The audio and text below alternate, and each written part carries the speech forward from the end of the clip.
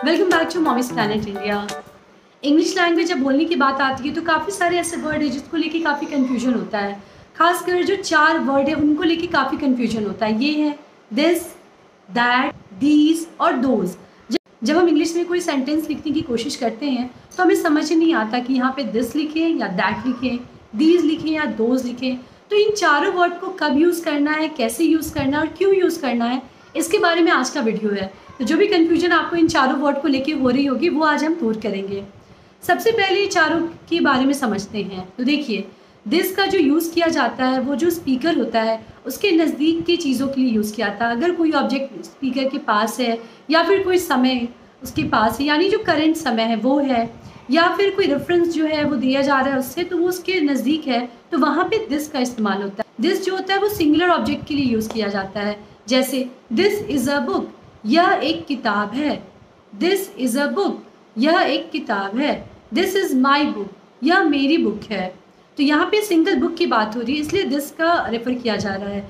या फिर हम बोलते हैं this is a great time मतलब अभी की बात हो रही है तो ये एक बहुत अच्छा समय है। तो ये समय भी जो है वो स्पीकर के पास है और अभी की बात हो रही है तो यहाँ पे दिस का इस्तेमाल होता है। या फिर अगर हम ये बोलते हैं this is a new book यानी एक नई बुक है तो वो बुक जो है वो स्पीकर के पास है। इसीलिए यहाँ पे वो दिस का इस्तेमाल कर रहा है। तो यहाँ पे हमें समझना है कि दिस का इस्तेमाल सिंगुलर ऑब्जेक्ट के लिए होता है, जो सिंगुलर फॉर्म में हो, और वो स्पीकर के पास हो। उसका रेफरेंस ऐसी चीज़ों के लिए भी दिया जाता है, जो स्पीकर के नज़दीक हो या जो करंट समय में हो। तो यहाँ पे आप दिस का इस्तेमाल इस तरह करेंगे। I am watching this game मैं यह गेम देख रही हूँ। तो यह गेम जो है, वो अभी करंट में देखा जा रहा है। इसीलिए यहाँ पे यूज़ हो रहा है I am watching this game this is a great start यह एक बहुत अच्छी शुरुआत है। तो यहाँ भी अभी वो वर्क हो रहा है और वो स्पीकर के पास है। तो यहाँ पे दिस का इस्तेमाल हो रहा है। तो एक मोटा मोटी भाषा में मैं आपको बहुत ज़्यादा ग्रामर डिटेल नहीं चाह के समझाने की कोशिश कर रही हूँ कि जब भी आप कोई सेंटेंस बना तो ये चीज़ें याद रखें। कि दिस है मतलब यहाँ पे सिंगुलर ऑब्जेक्ट का रेफरेंस हो रहा है करंट टाइम में है स्पीकर के पास है तो यहाँ पे दिस लगेगा। तो ये दिस की बात हो गई तो आई होप दिस का कंसेप्ट क्लियर हो गया होगा। This is my book this is a great time this is a great evening तो यहाँ पे दिस का इस्तेमाल होता है। अब बात करते हैं दैट की।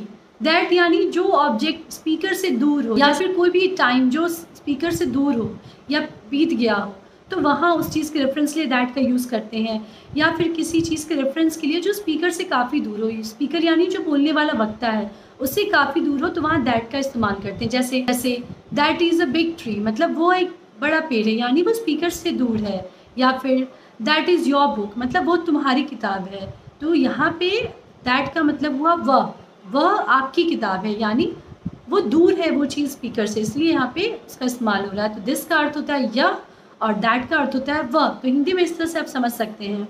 या फिर अगर हम बोलते हैं कि that was a great evening यानी वह एक बहुत अच्छी शाम थी तो वो जो चीज़ है वो बीत चुका है। तो वहाँ पे दैट का रेफरेंस दे रहे हैं। यहाँ पे एक चीज़ और समझना होगा दैट का इस्तेमाल भी सिंगुलर ऑब्जेक्ट के लिए करते हैं। यानी that is a big tree यानी बड़ा पेड़ है तो वो एक सिंगल पेड़ है।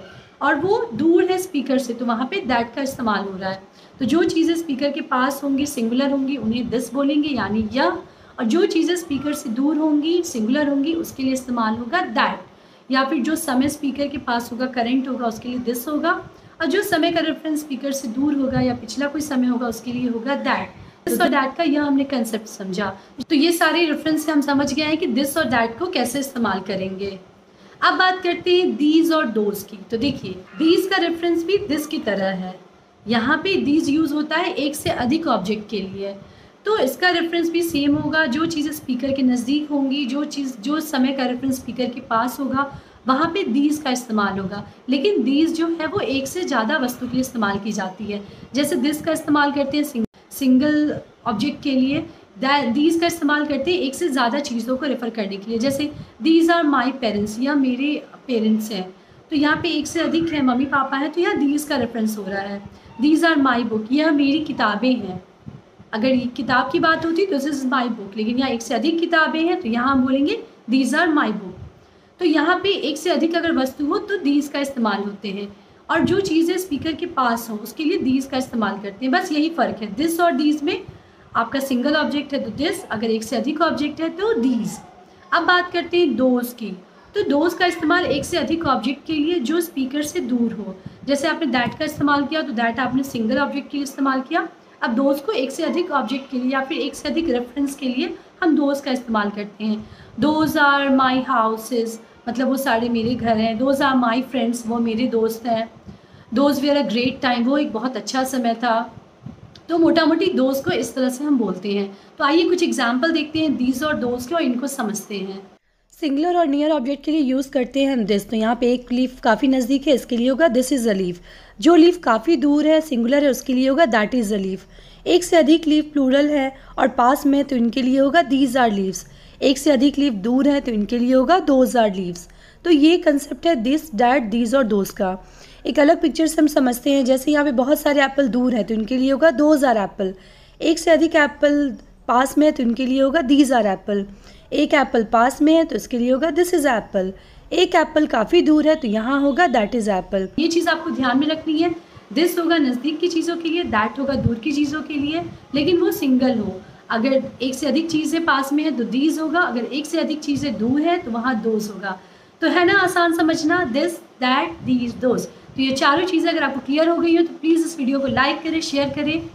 मुझसे कुछ पूछना चाहती है, कुछ बताना चाहती है कमेंट सेक्शन में ज़रूर लिखिए। देखते रहे मॉमिस प्लानट इंडिया। Thank you